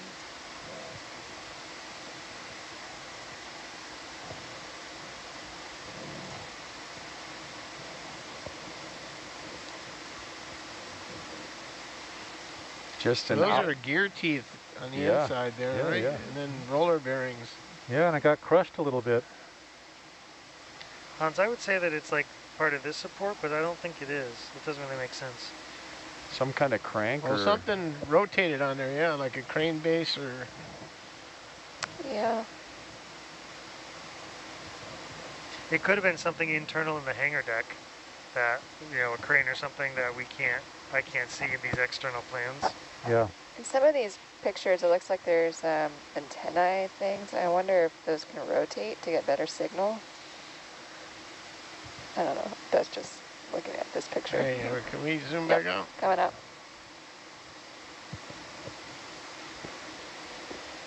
Oh, what a beautiful Yeah. haunting image.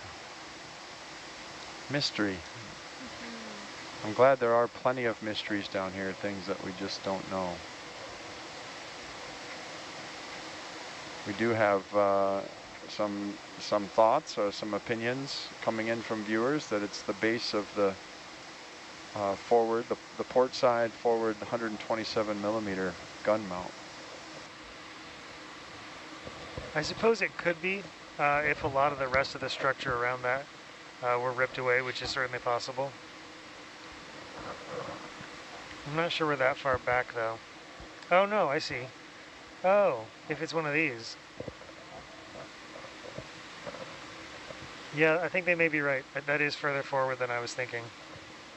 We've said it before, we'll say it again, we really appreciate all of you who have done so much research and are following along and contributing to the learning, to the knowledge. So um, we can't read all the comments that come in uh, out loud on air. There, we're often we're often carrying on with other uh, important jokes, but uh, or sometimes operational maneuvers.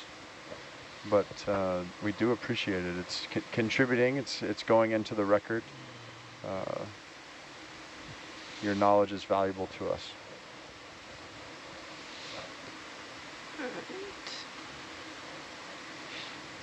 So now we're clear of that. We should. Do we want to continue on forward? Uh, forward, backward? yeah. Forward up the side. Onward. Onward. Onward, backward. Alright. Forward to the back.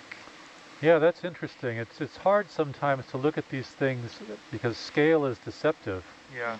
And you know, is it a compass binnacle? Is it a gun tub support?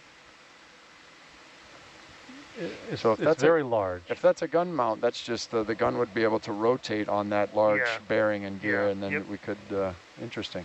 Okay.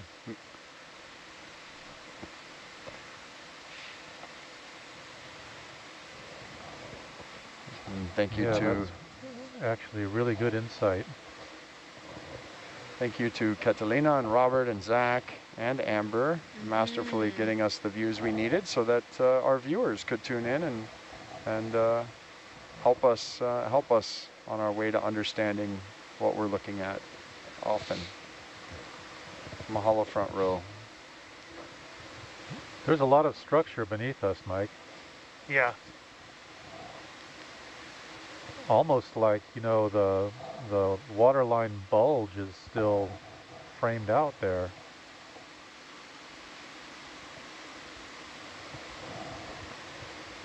Hard to say at this distance. Yeah, it is. It looks like this deck is crumpled. Like it had been Oh flat. yeah, yeah, push So down, yeah. here, it like accordion this way. Right. Okay. That brings us further out. Yeah. But that's forward.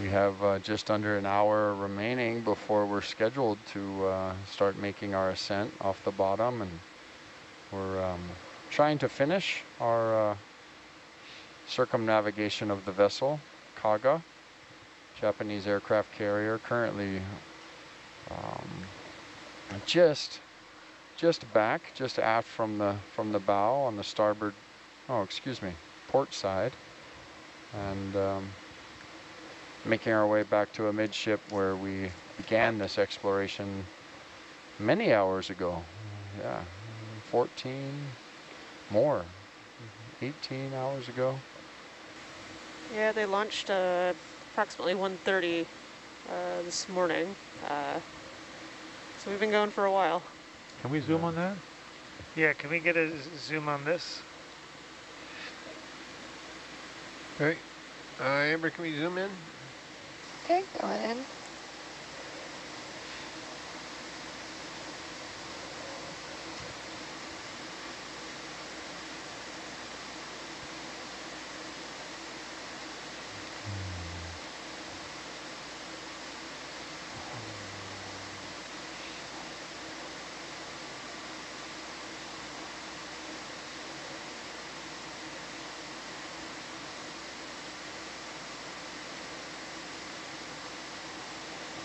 Wow. Well, not sure what it is. Okay.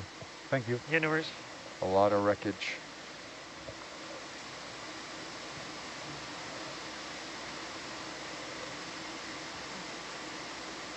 Yeah, it's full Yeah, I, feel, I feel like the deck's accordions there.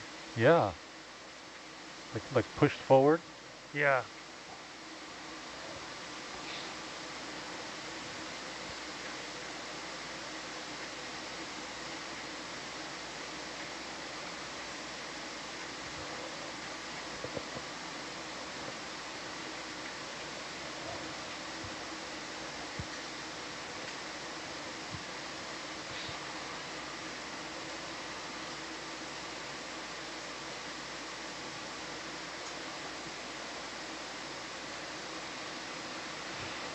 I'm writing like these random notes on uh, on the schematic of the of the ships, and I bet you like in six months I'm gonna have no idea what I meant.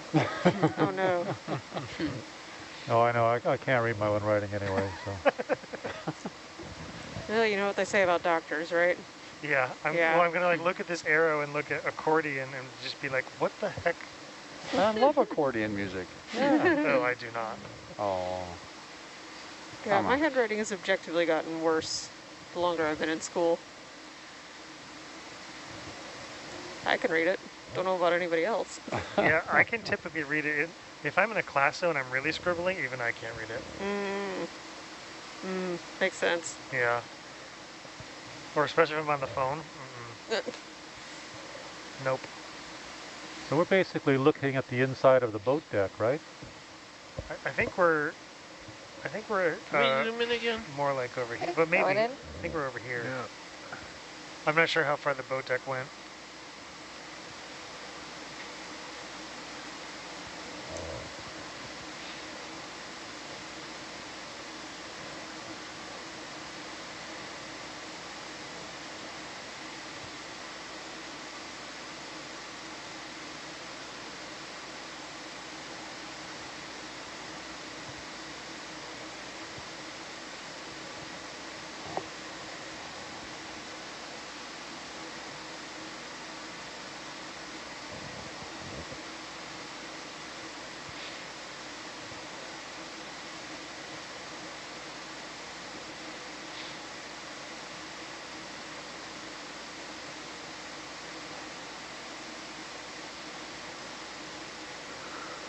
All right, zoom back out. Coming up.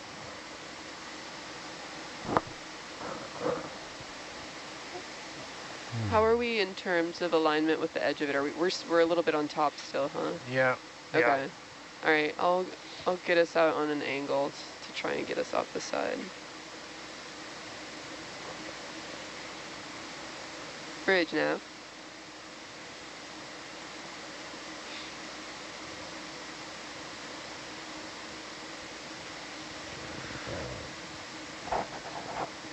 Could we go one five meters at bearing 125?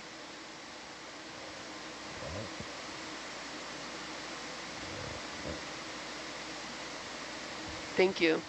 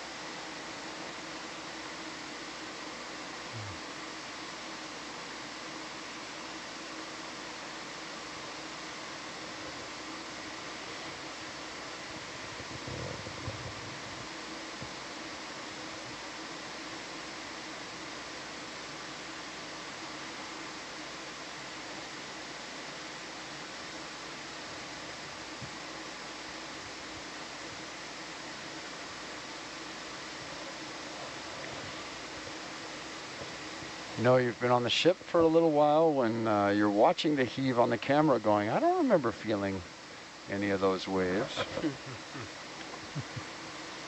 you're starting uh, starting to get used to the gentle roll that's passing beneath uh, beneath Nautilus here at the surface. How about when you don't uh, notice the camera's moving either?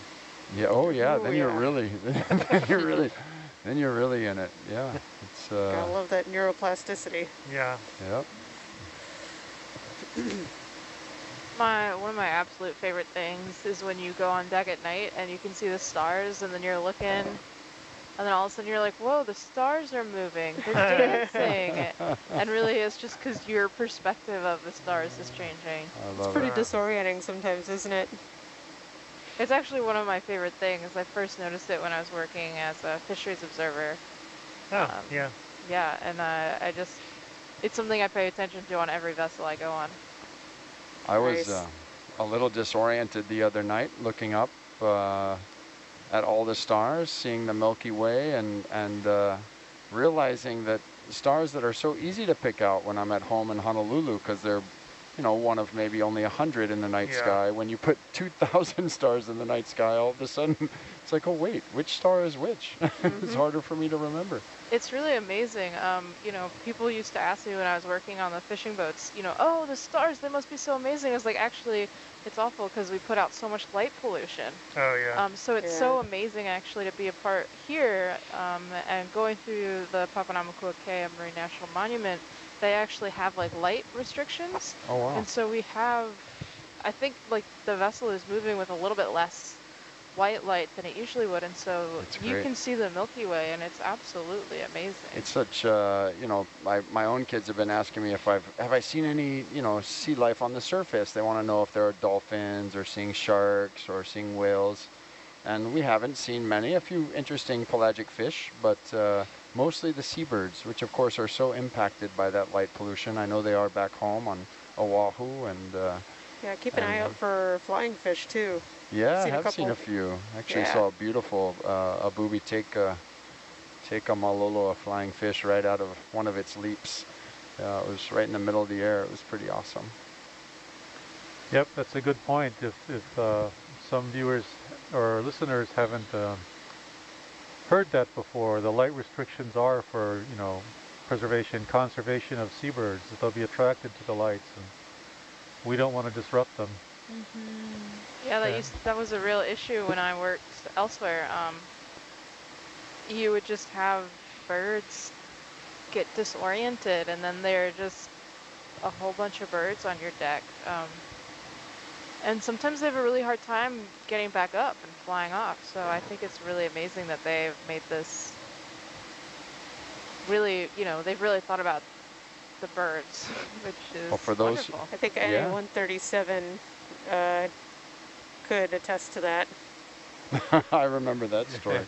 Yep. Oh wow. Well, you know this uh, this is such such a mo- remarkable uh, marine national monument. The atolls here are literally home to millions upon millions upon millions of seabirds, multiple species, many of them dependent upon uh, these atolls as nesting sites. Um, you know, rest points of, of rest uh, for lives that are lived almost entirely in the air and at sea. Uh, so it's critical, critical habitat. Um, uh, but for wildlife that many of us would never see or never encounter, but call this open ocean, this vast Papahanaumokuakea and, and Moana their home. And, and uh, those are elders. Um, here in Hawaii, we think of them as we think of our kupuna. Um, and uh, they are uh, so important to take care of. So I'm, I'm glad. I didn't know about the restrictions on, on the lights on the boats. I think that's fantastic. I love that. Yeah. I know we were just speaking with uh, Malia Evans downstairs, and we were talking about uh, Kilauea and Poliahu, our, our deity, our goddess um, on Mauna, Mauna Lo, Mauna Kea? Mauna Kea. Yeah, Mauna yeah, Kea. our snow goddess. But, um, you know, she was just also saying that we see our deities or gods in natural phenomenon. So just that intrinsic relationship, um, they're here through those those forms that we see.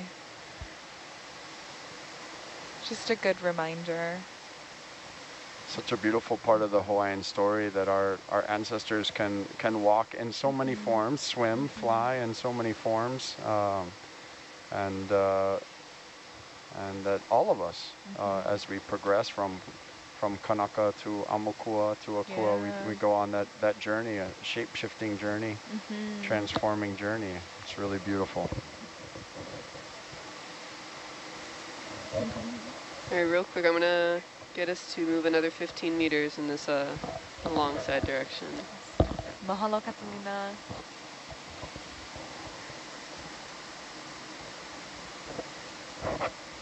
Yeah. Yeah, one of the things that reminds me of that uh, conflict between Mauna Loa and Mauna Kea uh, is driving the saddle road. yeah. As you, uh, as you get between Mauna Loa and Mauna Kea, uh, you see that Mauna Loa has much uh, younger, fresher lava flows than Mauna Kea does, and those have started to become overgrown.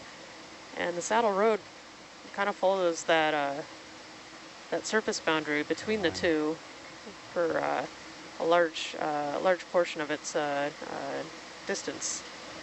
It does. Yeah. Watch those two powerful, imposing, uh, you know, representations of Akua uh, in a lot of ways on their own. Those two Mauna are sacred deities, those who uh, pay attention to uh, indigenous politics or environmental conservation, maybe have heard of the uh, some of the controversy, um, supposed controversy over over what's what should and, and what has and what will take place on Mauna Kea uh, the world's tallest mountain from from uh, bottom to top, from seafloor to uh, to Mhm. summit, but uh, uh, also the sacred, a very sacred mountain um, to the Hawaiian people, and uh, yeah, it's just a fascinating to be in the presence of that mountain, and especially on that location on the saddle road when you they're they're on both of your shoulders. it can Yeah, be uh, it's- you, you it's definitely very feel it. You definitely feel it. It almost looks like textile. I know it's not. I think it's melted metal. Melted metal. Wow. Because didn't one of the bomb? Yeah, two of the bomb, three of the bombs hit up here. Thanks, Sammy. Oh Yep. no, yeah, we're over here now. So I mean, like there were there were bomb hits on the three of the bomb hits were in this uh, forward area.